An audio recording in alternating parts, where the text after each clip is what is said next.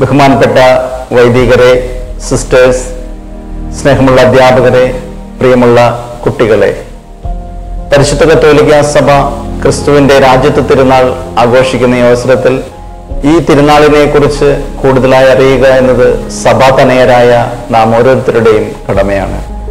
ആയിരത്തി തൊള്ളായിരത്തി ഇരുപത്തിയഞ്ചിൽ പതിനൊന്നാം പിയൂസ് മാർപ്പാപ്പ തന്റെ ചാക്രിക ലേഖനമായ ക്വാസ് പ്രീമാസിലൂടെയാണ് സാർവത്രിക സഭയിലുടനീളം ക്രിസ്തുവിന്റെ രാജ്യത്ത് തിരുനാൾ ആഘോഷിക്കാൻ തുടങ്ങിയത്. സുവിശേഷത്തിന്റെ ആരംഭം മുതൽ അവസാനം വരെ യേശുവിനെ രാജാവായും യേശുവിന്റെ സാമ്രാജ്യത്തെക്കുറിച്ചും പ്രതിപാദിക്കുന്നതായി നമുക്ക് കാണാൻ സാധിക്കും. യോഹന്നാന്റെ സുവിശേഷം പതിനെട്ടാം അധ്യായം മുപ്പത്തിമൂന്നാം വാക്യത്തിൽ പീലാത്തോസിന്റെ അങ്കണത്തിൽ വെച്ച് യേശുവിനോട് പിലാത്തോസ് ചോദിക്കുന്ന ഒരു ചോദ്യമുണ്ട് നീ യഹൂദന്മാരുടെ രാജാവാണോ? യേശു അതിന് മറുപടി പറയുന്നുണ്ട് നീ തന്നെ അത് പറഞ്ഞു കഴിഞ്ഞു. എന്റെ രാജ്യം ഐഹികമല്ല ആയിരുന്നെങ്കിൽ എന്റെ പോരാളികൾ എനിക്കായി പോരാടുമായിരുന്നു. അങ്ങനെ യേശുവിന്റെ സാമ്രാജ്യത്തെക്കുറിച്ച് സുവിശേഷത്തിലുടനീളം വളരെ വ്യക്തമായി നമ്മെ പഠിപ്പിക്കുന്നതായിട്ട് നമുക്ക് കാണാൻ സാധിക്കുന്നുണ്ട്. ലോകചരിത്രത്തിൽ അനേകം രാജാക്കന്മാരെ നാം കാണുന്നുണ്ട്.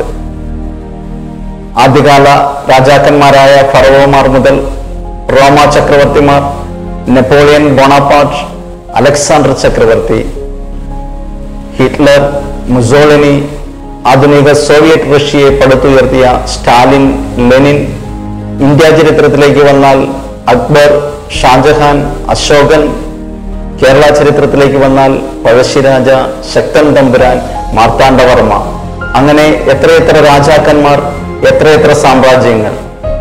ഇവയെല്ലാം ഇന്ന് നാമാവശേഷമായിരിക്കുകയാണ്. ഇവയിൽ പലതിന്റെയും ശേഷിപ്പുകൾ പോലും ഇന്ന് അവശേഷിക്കുന്നില്ല. ഇവയെല്ലാം ഇന്ന് ചരിത്ര പുസ്തകങ്ങളിലൂടെ നാം പഠിക്കുക മാത്രമാണ് ചെയ്യുന്നത്. എന്നാൽ രണ്ടായിരം വർഷങ്ങൾക്ക് മുമ്പ് ക്രിസ്തു സ്ഥാപിച്ച ആ സ്നേഹ സാമ്രാജ്യം ഇന്നും നിലനിൽക്കുകയാണ്.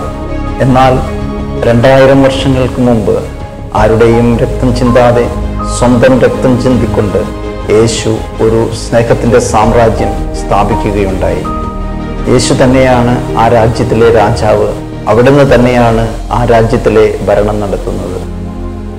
പ്രിയമുള്ളവരെ രണ്ടായിരം വർഷങ്ങൾക്കിപ്പുറം എന്തിന് ലോകാവസാനം വരെ തുടരുന്ന ആ സ്നേഹത്തിന്റെ ഭരണം ഇന്നും തുടരുകയാണ്.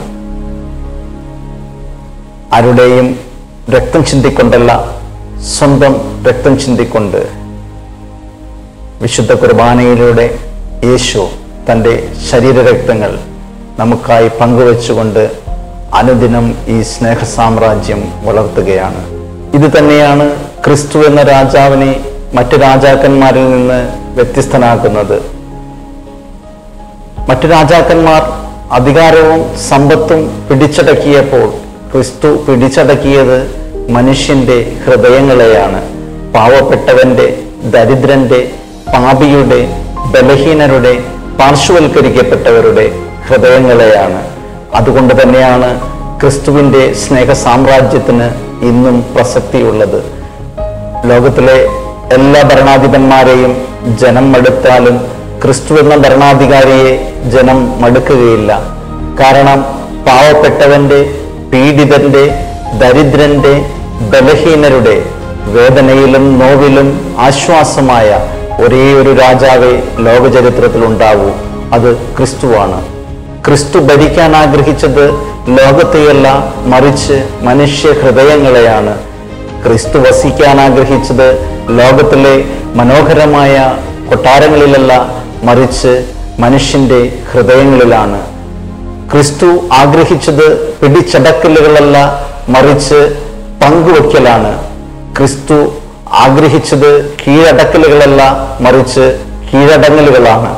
പ്രിയമുള്ളവരെ ക്രിസ്തുവിന്റെ സാമ്രാജ്യത്തിന് ഒരിക്കലും അന്ത്യമില്ല എന്നും ചെറുതാകുന്ന സ്നേഹിക്കുന്ന പങ്കുവെക്കുന്ന മുറിയപ്പെടുന്ന ആ സ്നേഹത്തിന്റെ സാമ്രാജ്യത്തിൽ ക്രിസ്തു ഇന്നും രാജാവായി തുടരുകയാണ്. ലോകം ആരൊക്കെ ഭരിച്ചിട്ടും സന്തോഷമോ സമാധാനമോ അതിന്റെ പൂർണതയിൽ എത്തിയിട്ടില്ല. യുദ്ധങ്ങളും കലഹങ്ങളും കലാപങ്ങളും രോഗങ്ങളും ആയി ലോക ചരിത്രം തുടരുമ്പോൾ യേശുവെന്ന രാജാവ് എല്ലാ ഭരണാധിപന്മാർക്കും സാമ്രാജ്യങ്ങൾക്കും മുൻപിൽ ഒരു വലിയ ചോദ്യചിഹ്നമായി നിൽക്കുകയാണ്. പ്രിയമുള്ളവരെ യേശുവിന്റെ ഈ സ്നേഹ സാമ്രാജ്യത്തിൽ അംഗങ്ങളാകാൻ നാം എല്ലാവരെയും ഈശോ ക്ഷണിക്കുകയാണ്. നിങ്ങൾ തയ്യാറാണോ? മുറി തകർത്തെടുക്കുന്നതല്ല കൊന്നെടുക്കുന്നതല്ല രക്തം ചിന്തുന്നതല്ല പിടിച്ചടക്കുന്നതല്ല മറിച്ച് മുറിയപ്പെടുന്ന പങ്കുവെക്കുന്ന സ്നേഹിക്കുന്ന ചേർത്ത് പിടിക്കുന്ന ഈശോയുടെ ഈ സ്നേഹ സാമ്രാജ്യത്തിൽ അംഗങ്ങളാകാൻ നമുക്കേവർക്കും പരിശ്രമിക്കാം. എല്ലാവർക്കും ക്രിസ്തുവിന്റെ രാജ്യത്വ തിരുനാളിന്റെ എല്ലാ മംഗളങ്ങളും നേർന്നുകൊണ്ട് ഈശ്വമിശിഹായിക്കും സ്തുതിയായിരിക്കട്ടെ.